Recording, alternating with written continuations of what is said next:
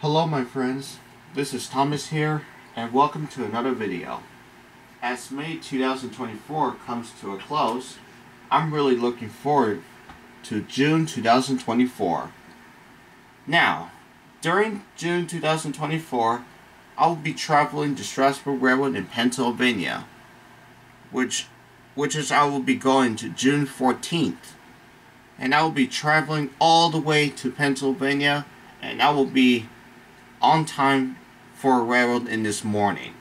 So I had to be up very early in the morning. So so I'll be so I'll be really really looking forward to seeing all the Strasburg engines.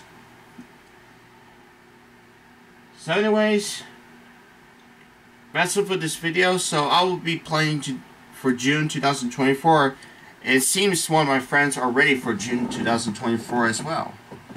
So anyways, that's it for this video. See you soon for another video. Goodbye.